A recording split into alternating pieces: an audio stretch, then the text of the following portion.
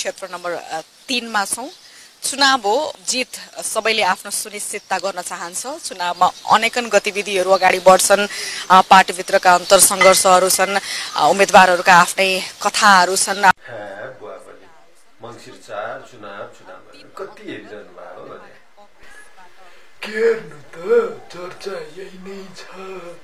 कसलाई हाल्ने त नि बा भोट आफ्नो पार्टी र चिन्ह बन्ने त भएन अब यिनै बुढा खाडालाई हाल्ने त होला नि।